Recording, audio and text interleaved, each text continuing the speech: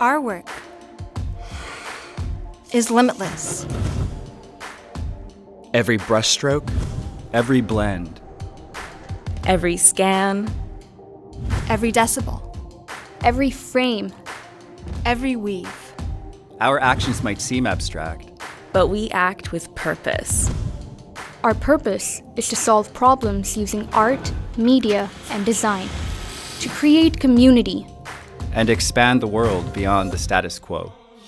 Through hard work and imagination, our aim is to leave the world better than how we found it. We create because we can. Because art is intuitive. We have a story to tell. We want to inspire.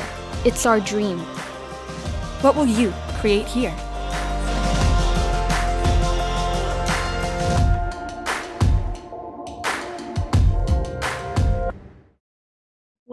Class of 2024, and thank you for tuning in to Emily Carr University's Connect event.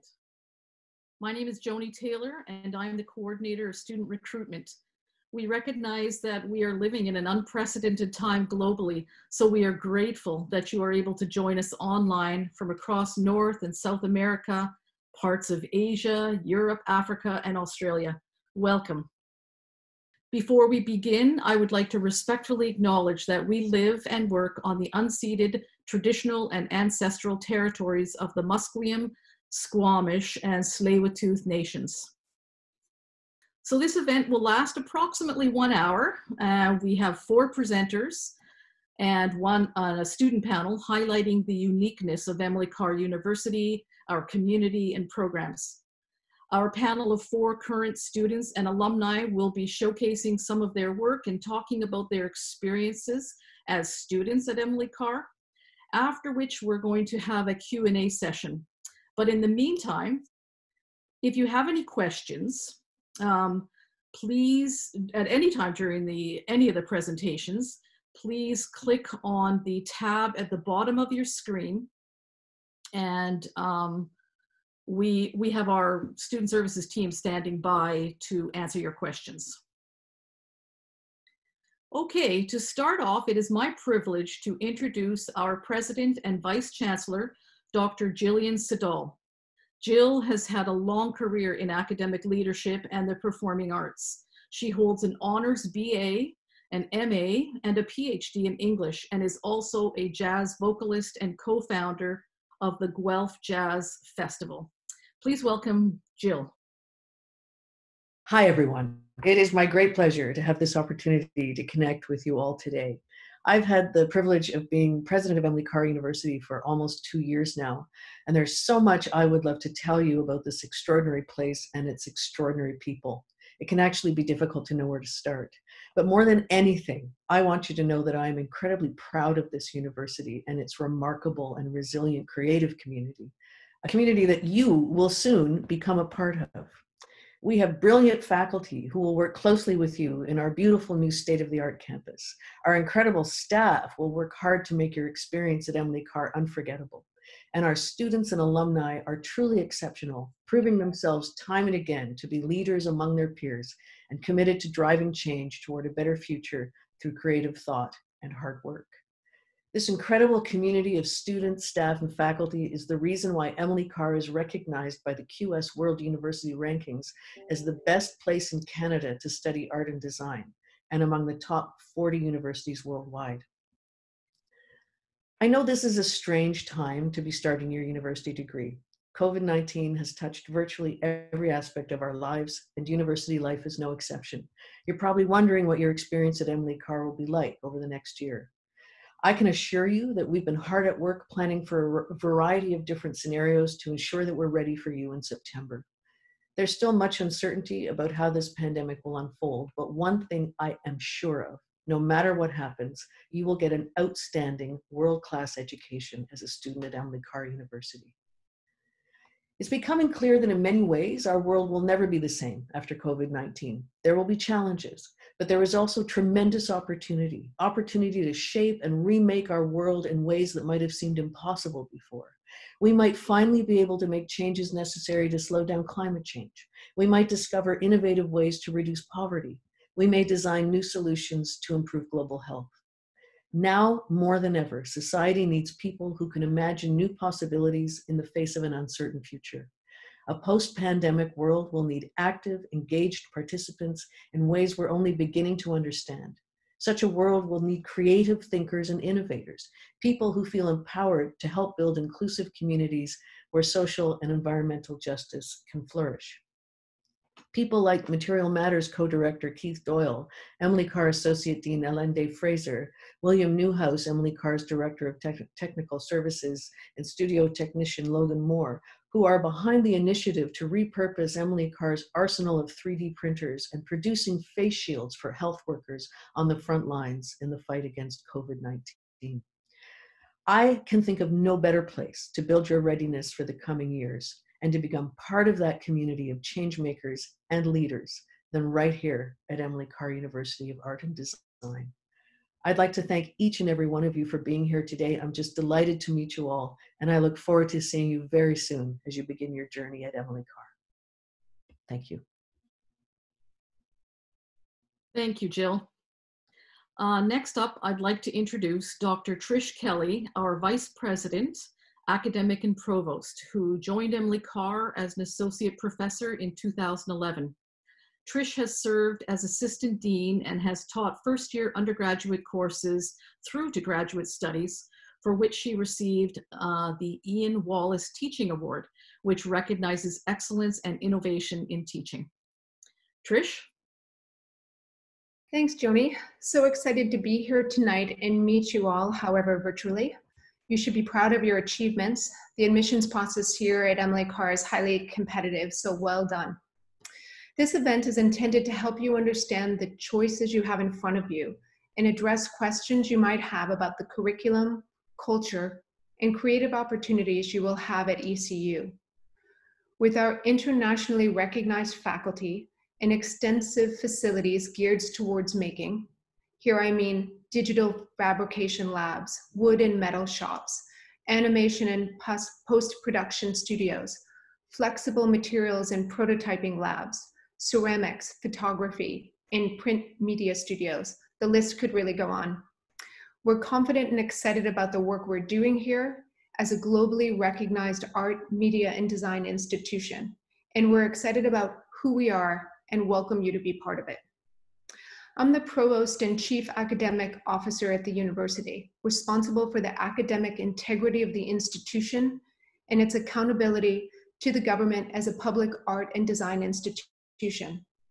I work with faculty to ensure the university's curriculum, technical services, lab supports, and research facilities are cutting edge, and that we collectively create a fulsome and challenging student experience that emphasizes criticality, self-reflexivity, hands-on material exploration, and cultural and contextual understanding and awareness.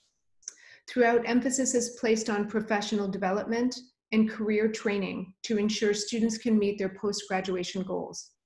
I feel privileged to work with amazing faculty and technical staff who are here to push and support you as you move forward in your creative practice. I'm sure you have many questions regarding what will happen in the fall, specifically in terms of the reality of, realities of COVID-19. The entire post-secondary landscape along with every other sphere of public life, has been affected by this pandemic. As a public institution, we are working closely with the Ministry of Advanced Education and provincial health authorities to determine exactly what our fall semester will look like.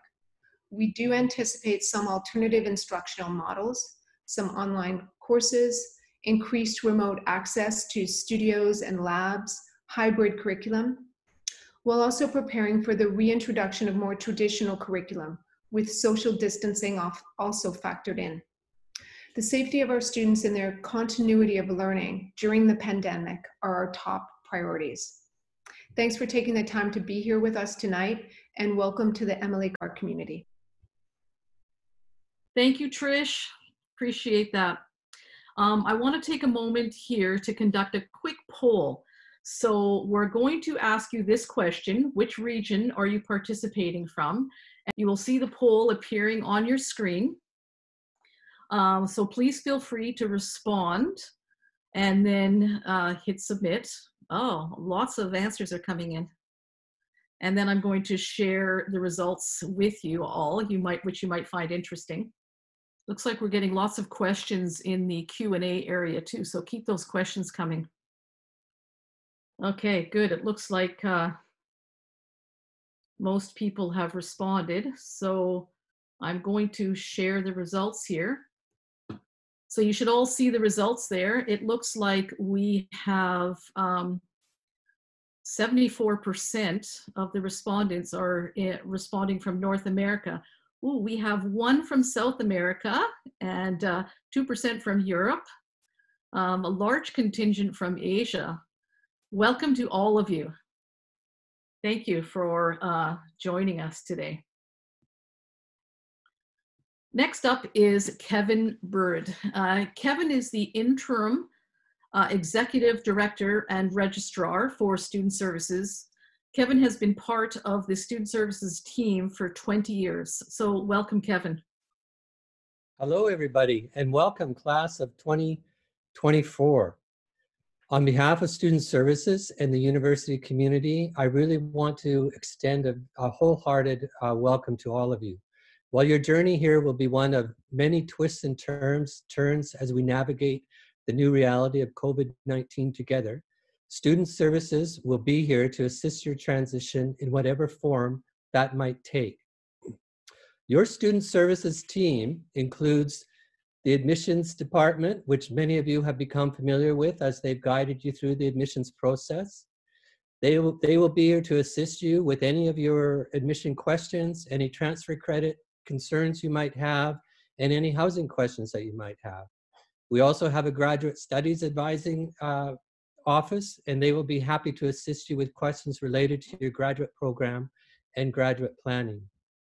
We also have an academic advising team, and they can assist you with your course registration questions. We're getting ready to register our students for this fall, and most of you will be looking at registering sometime in June. So watch out for those emails from our academic advising office.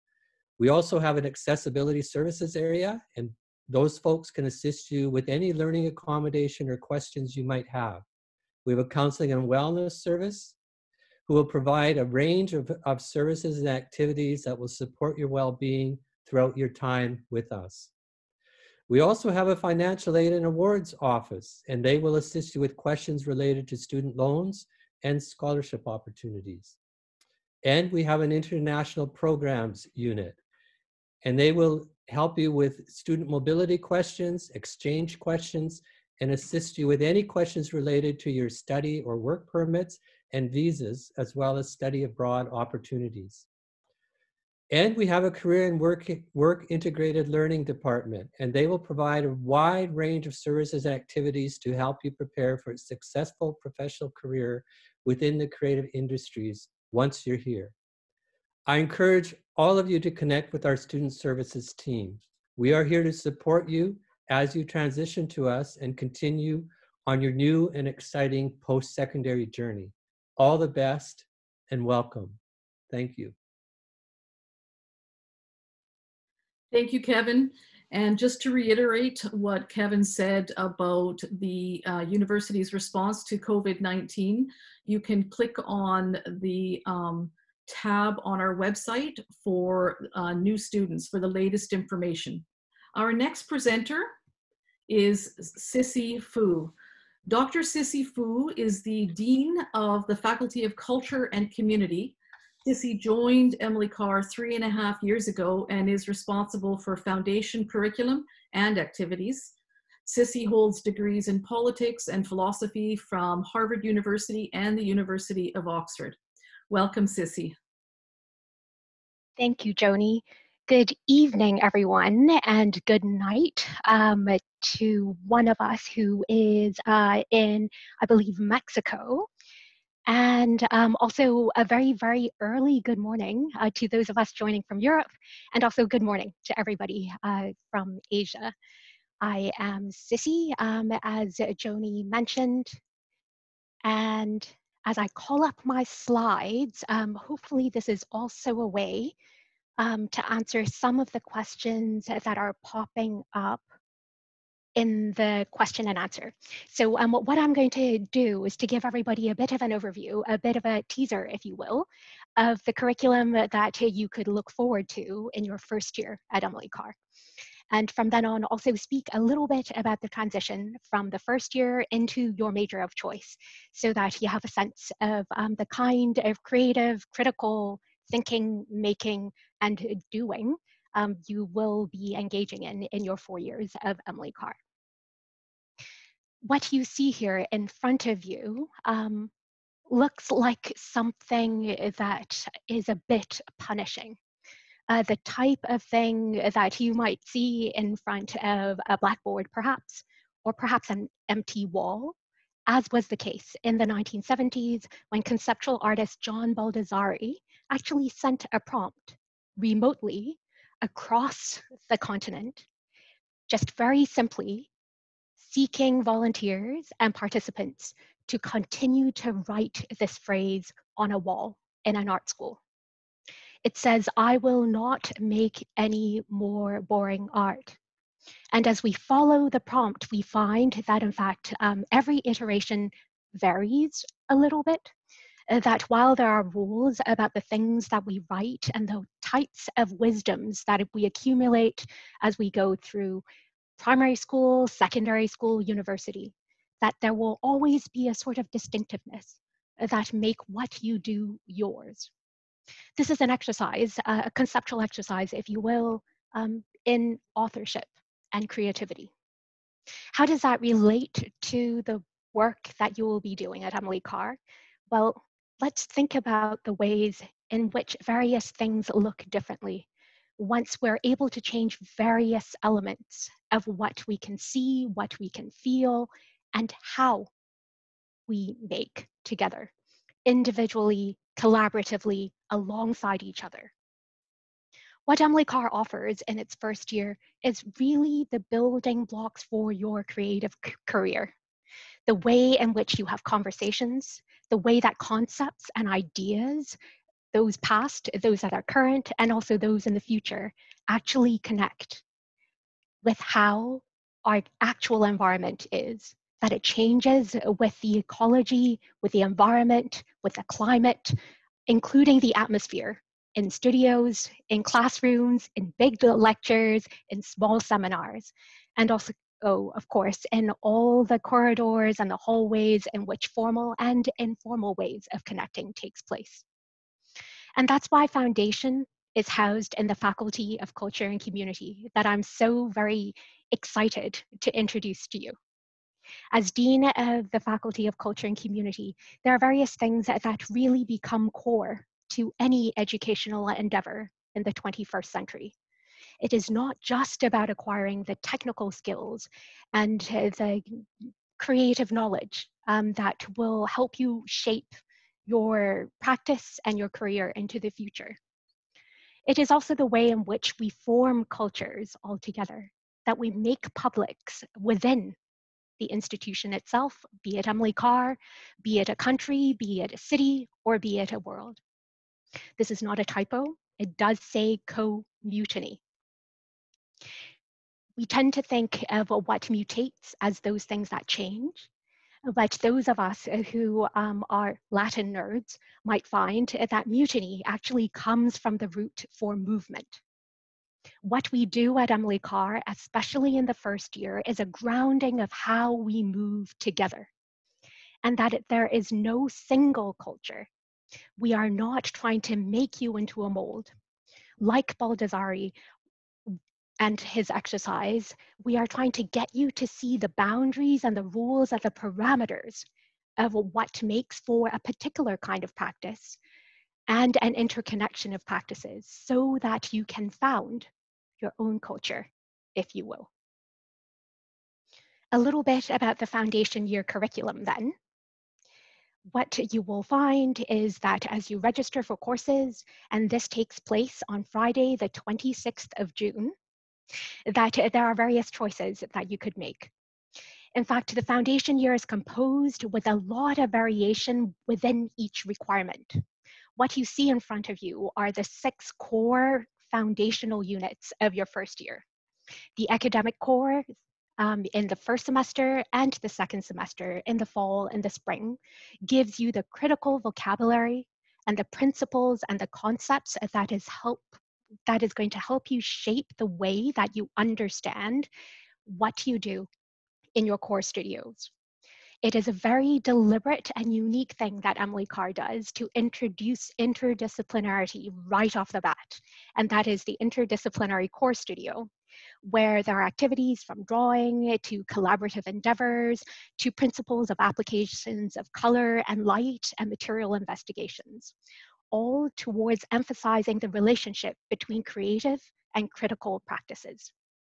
You can expect to move from 2D to 3D to 4D practices, those things that are time-based, those things that are static, the things that you can put on walls, the things that, that pertain in the space between you and the screen, you and uh, your faculty member, you and the group. In the first semester, you will also find a very special course called Creative Processes. That is actually a course about resilience, about iteration, about the imagination, and actually, quite crucially, about how to fail, to fail again, and to fail better. As an artist, as a designer, as a media artist, this is what Emily Carr is going to give you a sense of how you are going to move forward as you try out different things, explore with excitement all those affordances in the world, be it technological, be it conversational, be it discursive.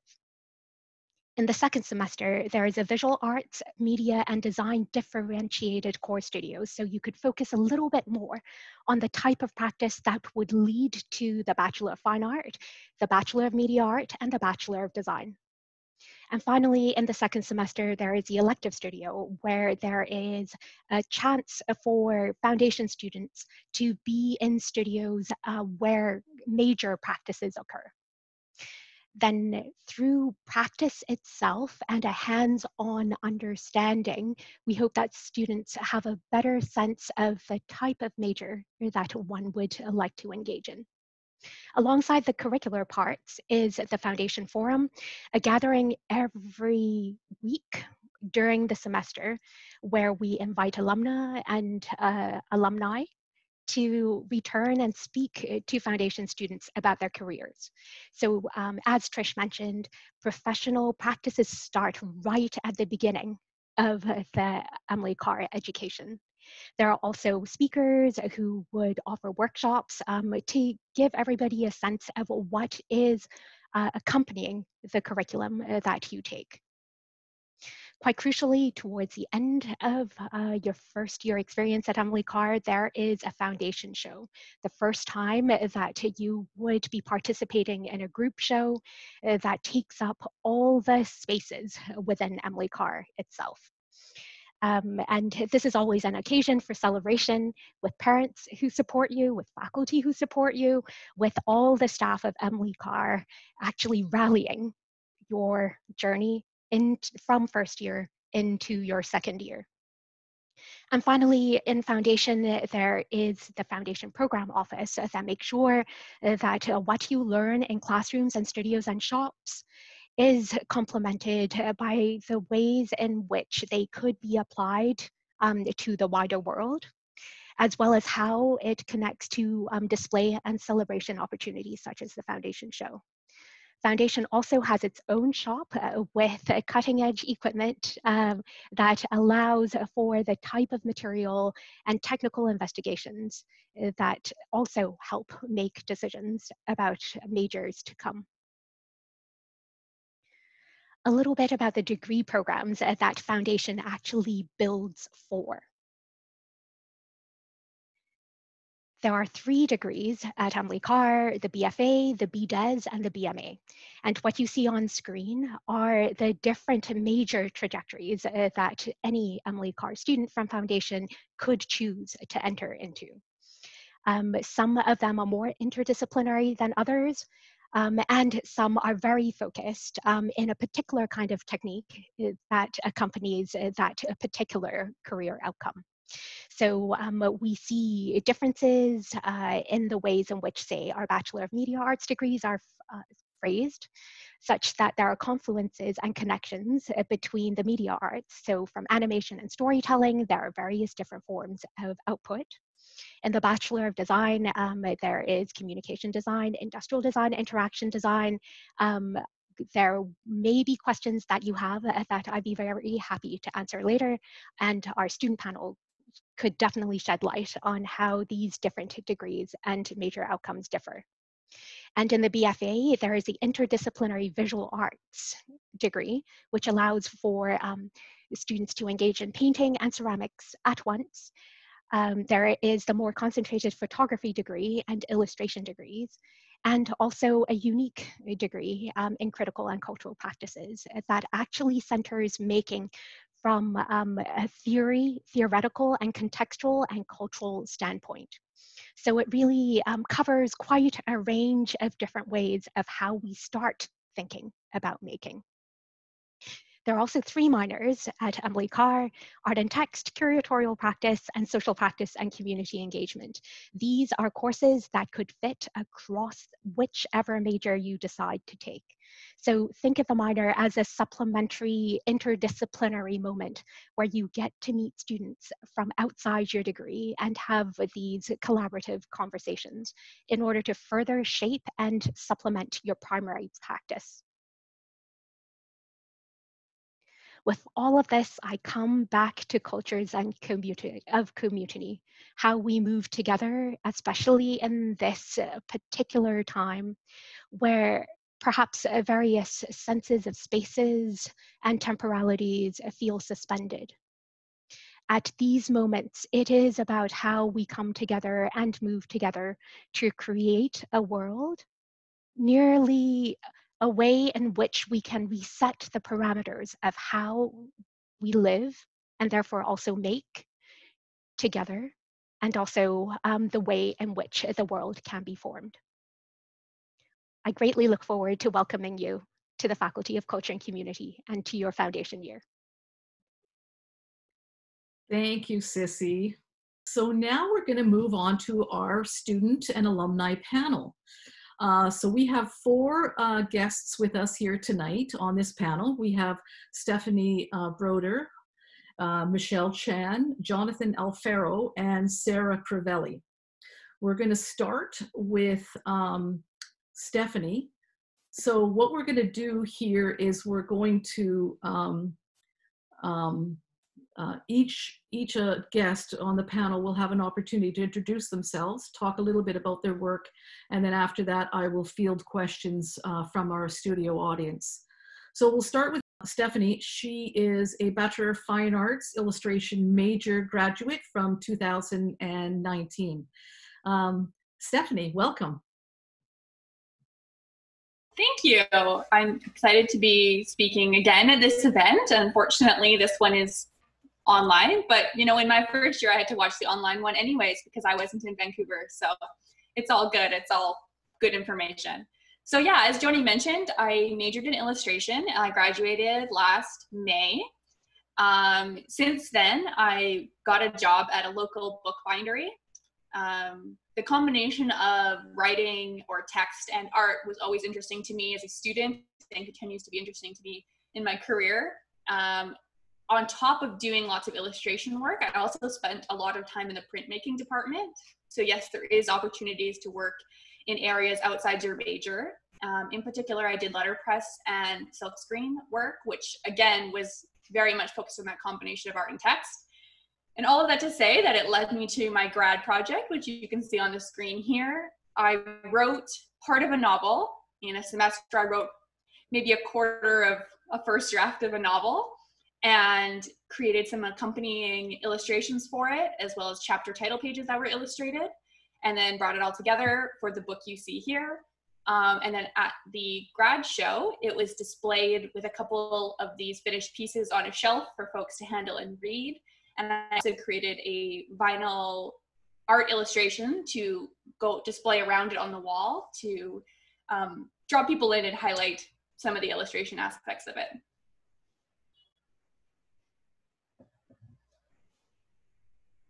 Your book is beautiful. It looks beautiful. Can you tell us a little bit about the production process? Yeah, thank you. yeah, so I actually did pretty much all the steps of bringing it to reality. So not only did I do the writing and illustrations, but I did the design for the for the actual cover itself, as well as the page layout design on the interior. So I was working with InDesign, um, Illustrator, as well as paper and pencil. I literally every step of the process. Um, but the one thing that I couldn't do myself was print and bind it to the professional level that I wanted. So I actually used our on-campus printing lab, which is called the DOC. and it was there that they helped me print it and create this perfect bound book, um, which I have one If anyone can see my camera. It's a beautiful physical object that I now get to keep. So yeah, I couldn't have created it as a physical object without the help of the DOC. Oh, that's great. Yeah, the DOC is the Digital Output Center, and it's a wonderful support for all students from all majors. Thanks, Stephanie. Uh, next, we have Michelle Chan, who is a Bachelor of Design, Interaction Design major and uh, she is now in her fourth year. Michelle? Hi, thanks, Joni. Uh, hi, everyone. I'm Michelle, and I started my journey at Emily Carr in 2016 back at the Granville Island campus. Um, coming straight out of high school, I knew I wanted to do some sort of design, but I wasn't sure which one I wanted to do specifically. So in first year, I spent a lot of my time exploring all the different types of art and design practices, such as printmaking, photography, and industrial design. Uh, once we had our majors picked out and approved in second year, we really started to focus on developing our skills as interaction designers. Um, I learned to program HTML, uh, C++, and some Arduino stuff. Uh, we also worked on our research skills um, UI, UX, UI process, as well as some graphic design like typography and motion graphics. I would say it was about halfway through third year. That's when I realized that I felt very passionate about health design, as I saw that a lot of my work usually re- uh, revolves around health and wellness. Um, I'm especially interested in UX, UI, um, service design, and design research, uh, which are all incorporated in my grad project Hilo, as you can see in the screen. Um, so Hilo is a diabetes management tool for young patients and their families. This is a digital diabetes management tool that aims to demystify childhood diabetes by empowering the child with agency and responsibilities while also guiding the caretakers to provide the appropriate care and support. For this eight month project, I carried out the research and design of the product's function and service. I was also able to work and co-create with patients and caretakers who have experience with childhood diabetes, which was a really amazing experience. Um, many of us were also in a class called Design for Startups, which helped us develop the business side of our grad projects. Uh, and we had the opportunity to pitch our product, uh, product to a panel of experienced and successful entrepreneurs, including an individual who got a deal in Shark Tank. So that was a really awesome experience so through my years at Emily Carr, I was also able to land a couple professional opportunities and being able to work in healthcare as a designer before finishing my bachelor's really gave me the confidence and foundation to enter the workforce. Wow. Yeah, that, that's my time. my time at Emily Clark. that's great. Well, that's wonderful. It sounds like you've had a very uh, diverse experience within interaction design. Yeah, um, so yeah it's it, interaction design is a very broad range of stuff. Um, so for me it's most it's mostly about ux ui design research and service design. But for some of my other colleagues it's you know interactive installations programming and tech using stuff like arduinos and raspberry pis. Um, some people also do ar and vr um, we also do critical design, experimental design, sound design is also really cool. There's a lot of people who look into that too.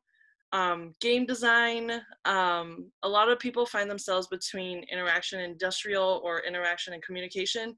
And it's really like your call. Um, the cool part about interaction design is that you can really make it your own like you can take your external interests and mix it with your interaction design practice and come up with something new and incredible um, so yeah i think it's a really versatile versatile major and it allows for a lot of exploration Yeah, well, that sounds great. Thank you, Michelle. Okay, the next um, up is Jonathan Alfaro. Jonathan is a Bachelor of Fine Arts, Visual Arts major, uh, and he is in his fourth year as well. Jonathan? Uh, hello. Hi. Uh, so hi, hi, hi, everyone. I'm so excited that you're going to be joining the Emily Carr community. Um, so I was able to transfer to Carr at the beginning of second year, and I came to Carr specifically for the critical and cultural practice major, which was a really, really great program. As with all majors, you are required to take some classes that exist outside of your specific umbrella. And in the, one of those classes was a second semester class of that second year class. Uh, it was a painting class with Rebecca Brewer, one of the faculty members there. And she was not only able to really challenge our own paintings, like each individual painting, but also really challenged us to rethink our art practices in total. Um, Rebecca really highlighted ways that other materials, not just paint on canvas, could be used to record history and time around us. Um, this really launched my own exploration into textiles, which I have still yet to leave, and also was the foundation as to why I actually transferred out of that critical and cultural program um, into specifically visual arts um, major instead. Um, and yeah, so this process came everywhere from uh, learning to like deconstruct linen to weaving it back together, um, and to the point now where I'm actually working on like a 45 inch Leclerc loom at my studio, um, using like 100% Canadian sourced uh, woolen yarns.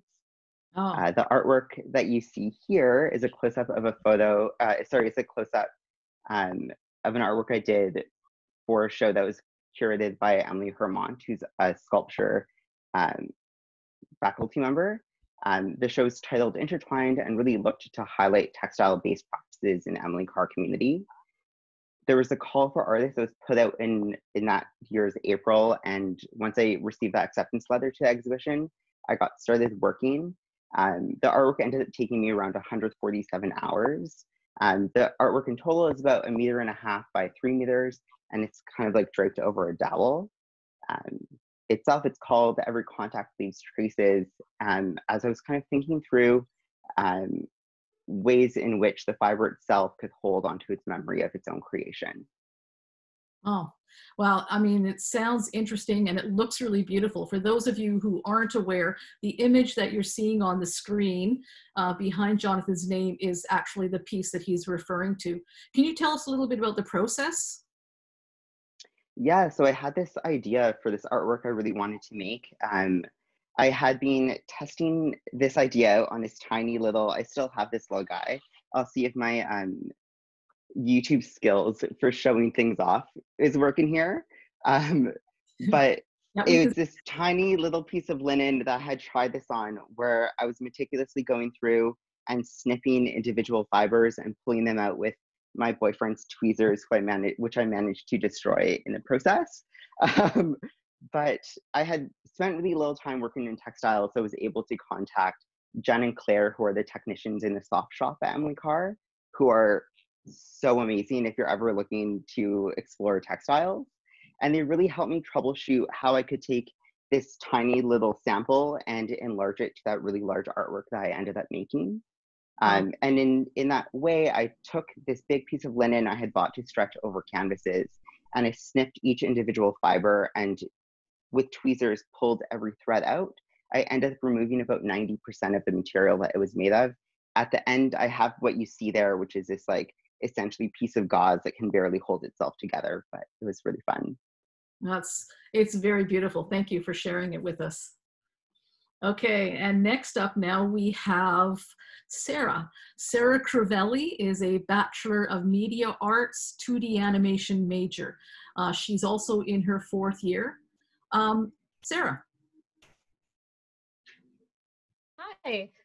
Hey. Uh, yeah, I'm Sarah, and uh, I'm actually an international student. So my first time coming to Emily Carr was actually my first time coming to Canada, which it was such an amazing experience. Um, yeah, I'm in 2D experimental animation, and it's such a wide program and it has all these different interdisciplinary practices when it comes to exploring animation as a uh, genre of practice. Um, the thing that I'm most interested in is kind of working with the pre-production animation. So anything having to do with concept art and character design and all of that jazz is like my jam.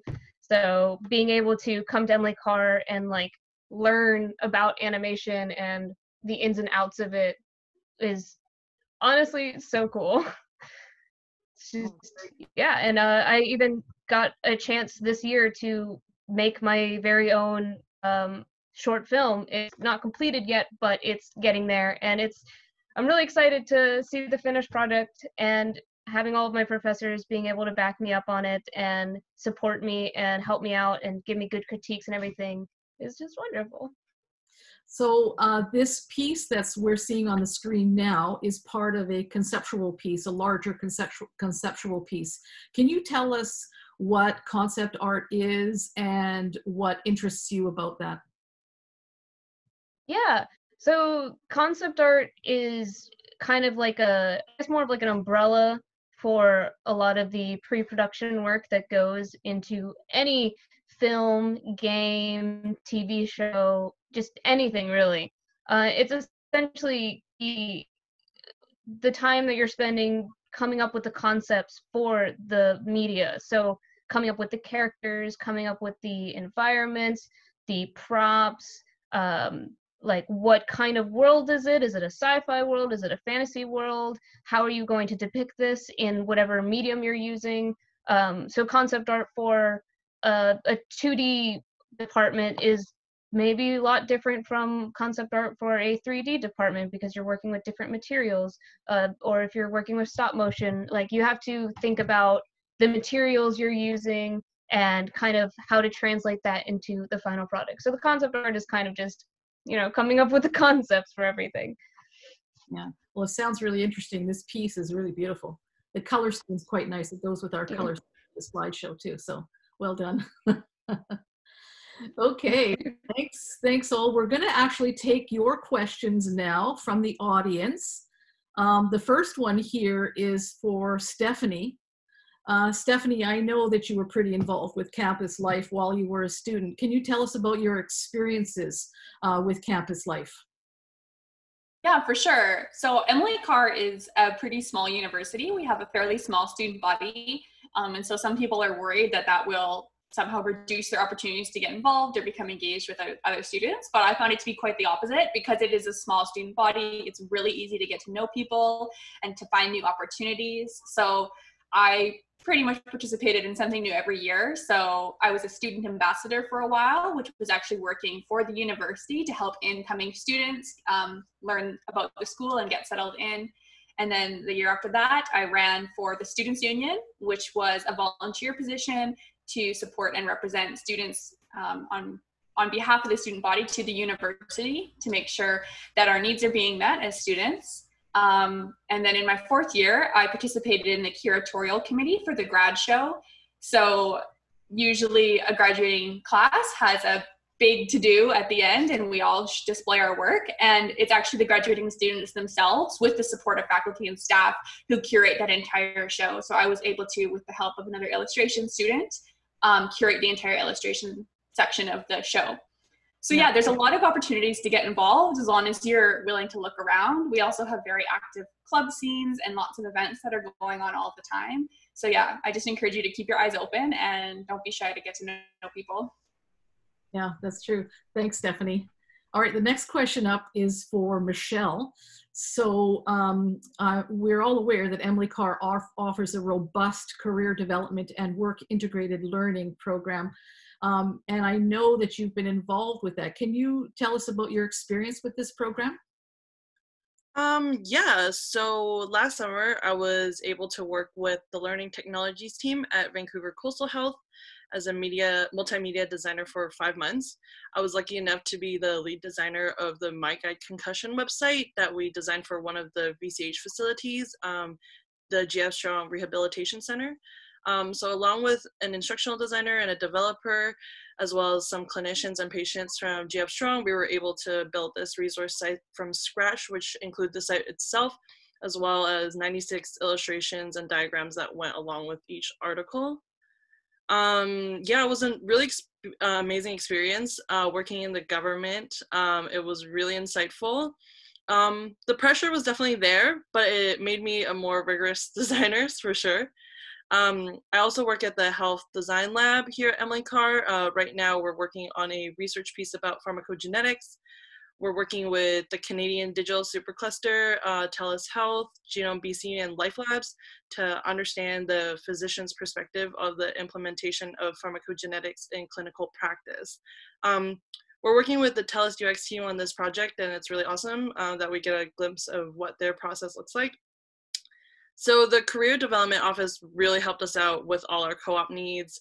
Um, they get us really awesome opportunities and facilitate the conversations and evaluations between us and the employers.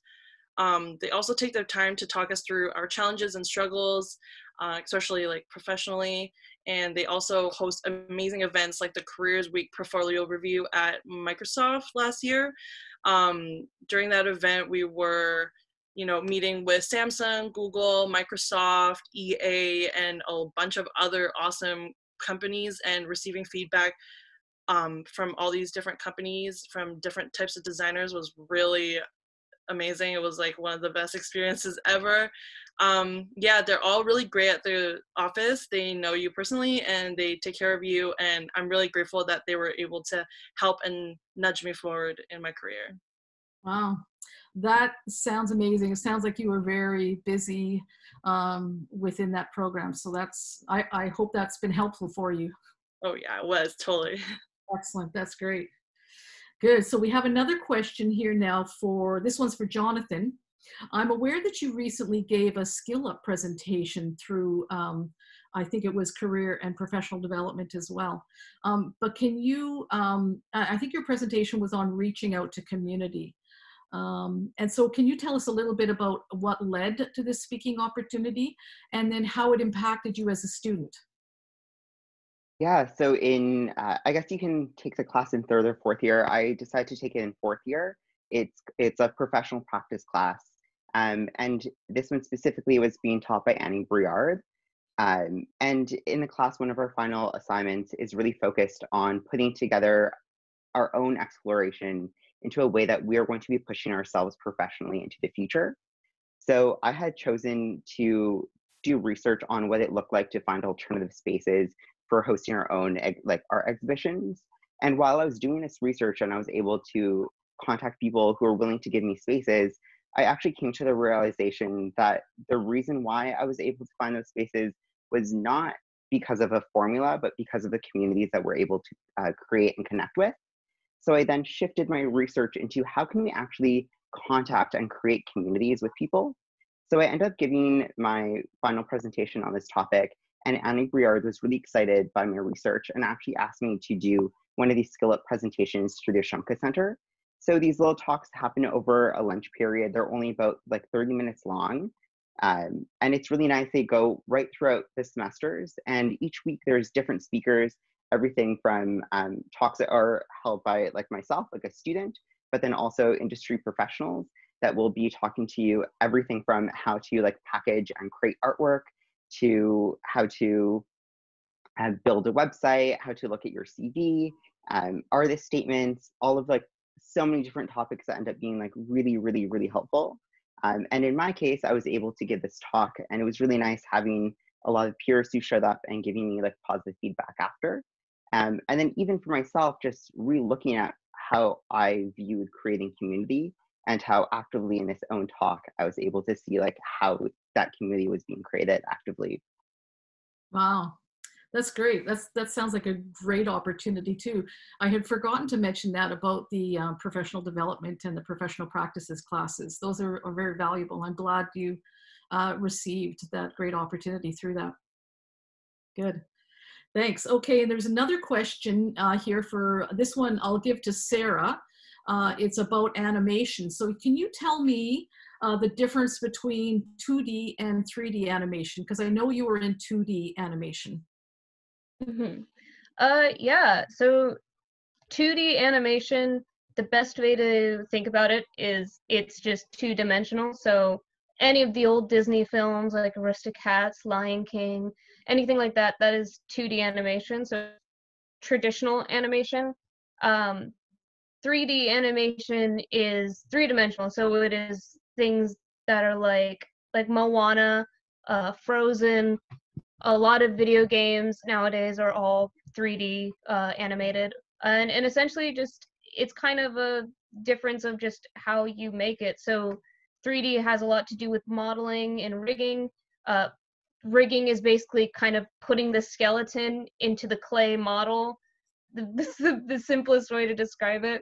Um, so you have to kind of mold the character in the program, and then from there you can start adding the textures, putting the like rigging it, um, doing the UV maps and all that jazz. And then eventually you'll be able to do the animation, which leads on to a lot of the movies you know nowadays that are 3D.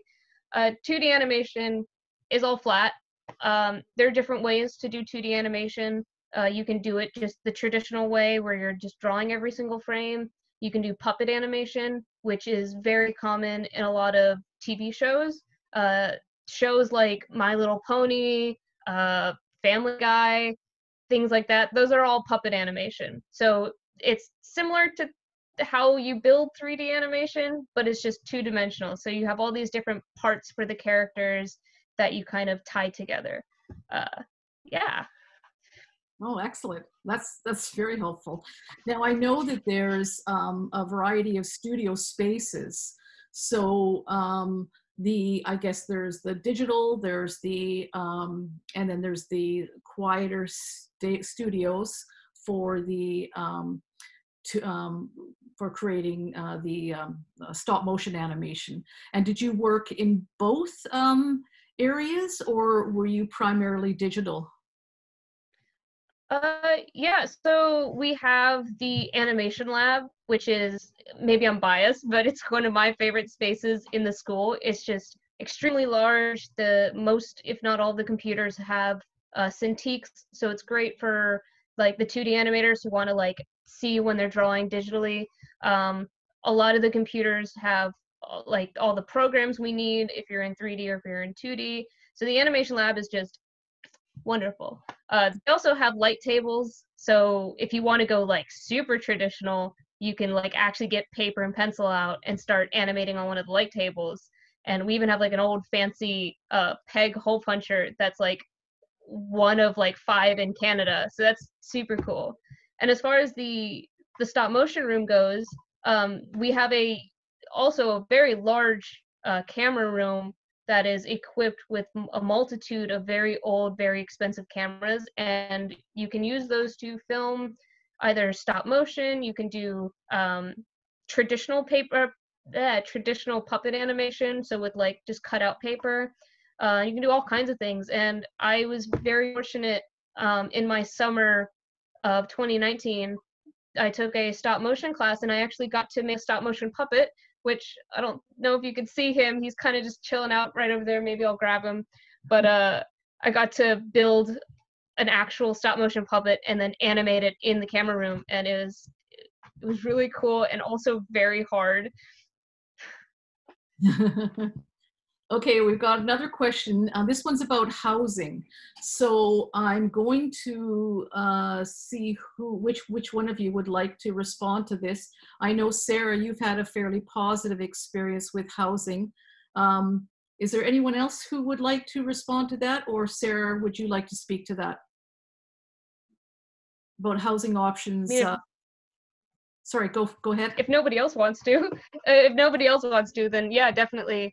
Um, since I'm international, finding housing here was a bit of a challenge um, because I don't have any family here. I couldn't just stay with family, and I didn't know anybody either. So, kind of doing like a just rooming with some random people was just kind of a hard decision. So, what we decided to do was enroll me into the uh, homestay program. And for those of you who don't know, a homestay program is where you go and live with another family and it's great if you're coming from a different country or if you're coming from the other side of Canada where you're not used to the culture here. So, like, it's wonderful to just kind of have them help you meld into the culture and like help you around. And I really lucked out. I absolutely adore my host family. I've been here in the same house for four years now, um, and it's absolutely wonderful. And it's uh, really easy to just kind of apply and get matched with like the best family. Um, and I was also lucky enough that two of my roommates, one of them has moved out uh, recently, but two of them actually were also students in Emily Carr. Uh, one of them in the same year as me. So it's like bonus points. I also have two Emily Carr students living in my house with me. So, woo! but yeah, definitely, definitely going for homestay. And now um, we do have a robust um, uh, housing office that operates uh, typically during the summer. So if this is something that any of you out there are interested in, in finding resources, uh, you can always email housing at ecuad.ca and they can assist you with um, the possibility of housing resources. Okay, so we're coming to a close now, and um, so I would just like to thank all of our participants who have um, joined us here today. But before I close, I want to let you know about um, accepting your offer. Uh, you've received this information um, through an email from admissions. Uh, but we've, we've set up the link here for you on this uh, page here. So you can just go to that link and it gives you all the information about how to accept your offer. Uh, in order to do so, you would need to pay your deposit by the deadline of May 1st. Okay. Um, so you could also email admissions at ecuad.ca uh, if you have any questions about how to um, pay your deposit. Okay, the other thing I'd like to uh, do is we are going to send you a survey because we want to find, find out how, if this was helpful for you, we want to find out how we did. So please take a moment to take the survey. We will be sending it to your email. Um, and so then you'll do, just be a link in there. You can click on that. We're also going to include the uh, websites of our four student panelists. So you can look at their work further and um, maybe contact them through their websites. They've got some really cool work up there. So that'll help you kind of get to know them a little bit better. Okay, uh, so thank you all very much for attending uh, today to our future students, our current students, and our former students who joined us today. I'd like to thank all of the presenters who spoke and all of my Emily Carr colleagues who worked behind the scenes tirelessly answering your questions. Uh, thank you all for attending. It's been our pleasure to connect with you online. Uh, so please do email us if you have any further questions. Otherwise, see you in the fall and stay safe. Thank you all.